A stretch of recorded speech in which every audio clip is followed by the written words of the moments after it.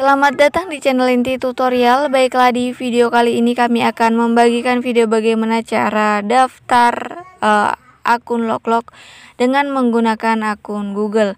Oke teman-teman langsung saja kita ke tutorialnya.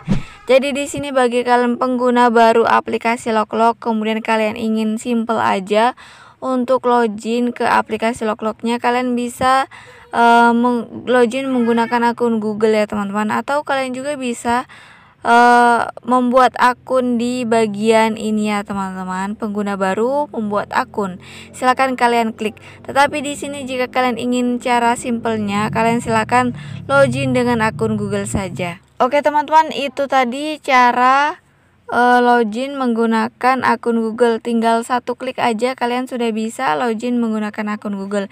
Ini tulisannya agak berbeda seperti tadi tampilannya itu karena saya sebelumnya sudah menghapus akun Google saya di akun Loklok ya teman-teman. Oke teman-teman itu tadi tutorial cara login menggunakan akun Google.